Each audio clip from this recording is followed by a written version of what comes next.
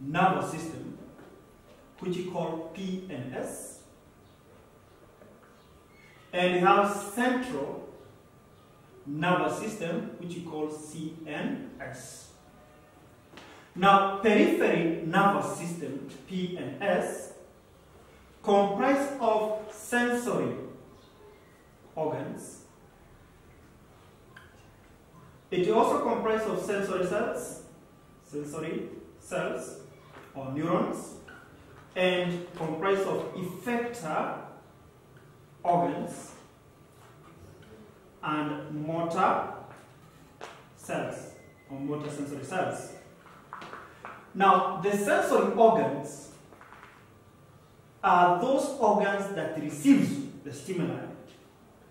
An example is the skin, ear, and eye. Ear for hearing, this one for sight, this one for pressure and temperature. Then sensory cell, which we call the sensory neuron, it is the one that takes information or nerve impulses from sensory organs to the central nervous system. Then effector organs are the organs that causes response. They cause response. Good example are biceps and triceps. Motor cells are the cells that relay information or coordinate the information or transmit information from the central nervous system to the effector organs.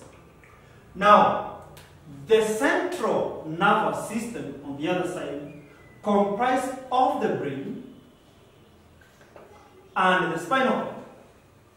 The brain comprises of cerebrum, cerebellum, uh, pituitary gland, medulla oblongata, pons, etc., and so many other parts. But you're going to look at CNS, that is central nervous system later. For today, I want us to look at the structure and functions of the sensory or the nervous cells. The nerve cells, the nerve cells are the cells that coordinate the organs, that is sensory organs, central nervous system, and the effector organs. So we have got these types of nervous, uh, nerve cells. Also, we call them neurons. Now, the neurons are divided into two, into three. We have one, we have sensory nerve cell, we have motor nerve, uh, motor nerve cell, and have relay nerve cell. So we are going to start with the sensory cell. We're going to start with the sensory cell or sensory nerve cell or sensory uh, neuron. The function of the sensory nerve cell, it is to coordinate between the, uh, uh, that is uh, to coordinate between sensory organs, sensory organs, and the central nervous system. They coordinate the sensory organs and the central nervous system. That is, they transmit an impulse from the sensory organs into the central nervous system for interpretation. So, what is the structure of these sensory cells? The structure of sensory cells are, this is how the structure looks like. We have the cell body, we have the axon, and then we have uh, the dendrites,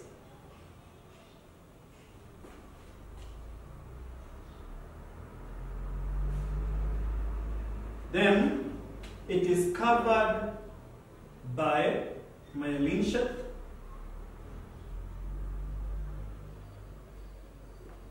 that is a myelin have the dendrites.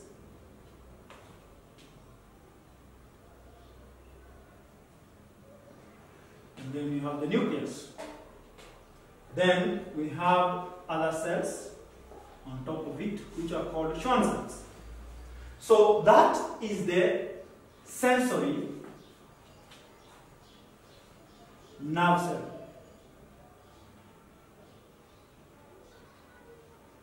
Sensory nerve cell. By parts, we have the cell body,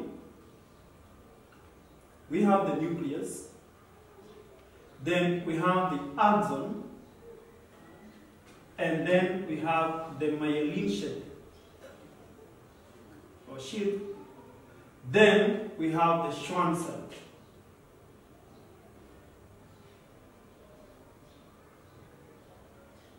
We have the Schwann cells. We have the dendrites.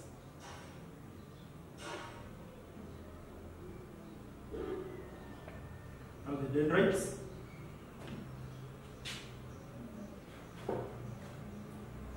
So that is now the structure of a sensory nerve cell or a sensory neuron, having the cell body, nucleus, axon, myelin sheath, Schwann cell, dendrites, like that.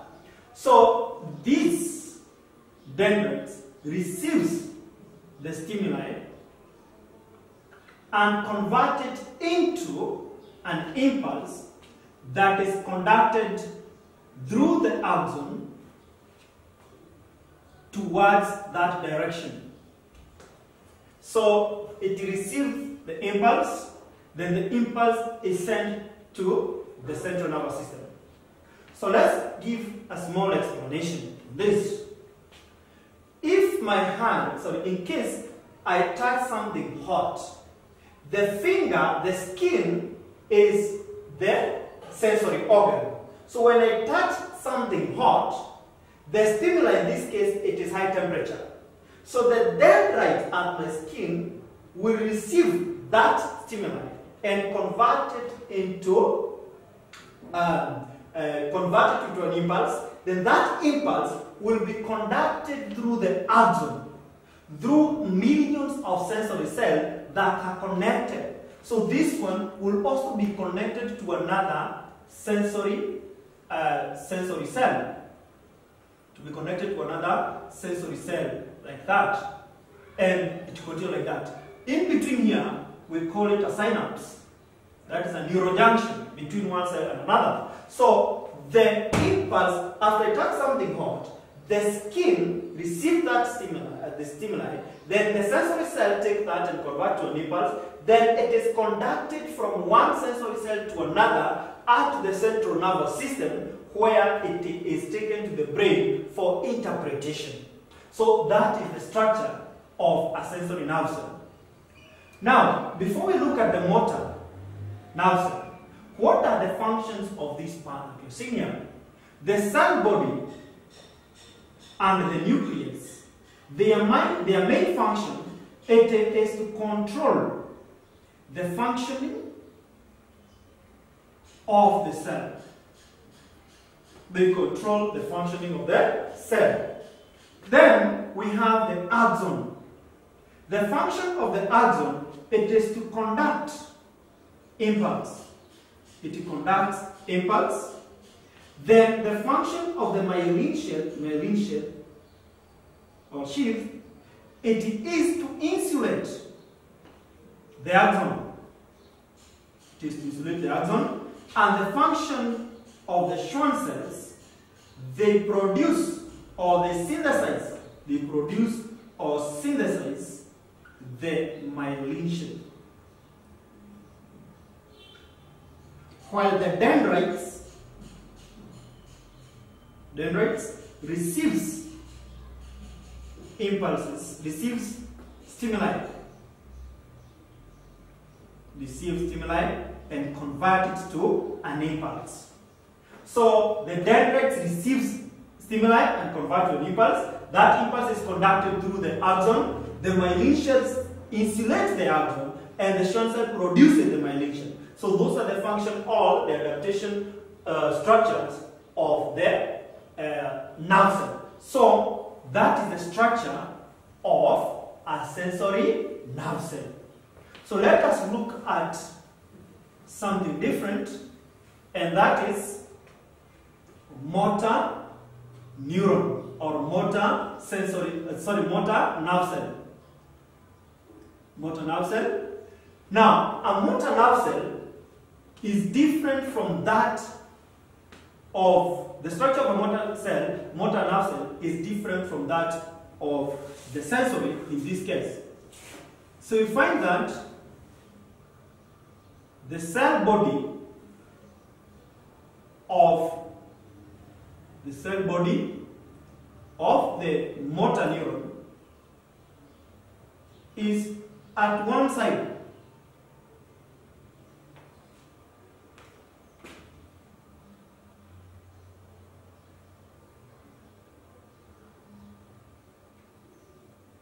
So there you are.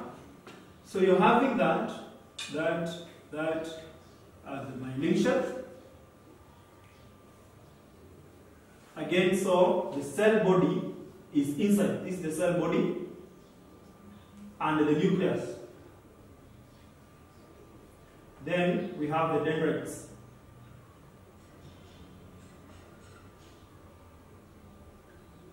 Then we have the axon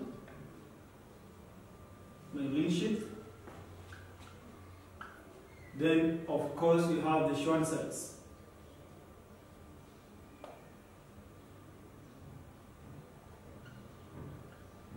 Schwann cells. Now, the Schwann cells are the same of uh, like those of the neuron, of the sensory neuron.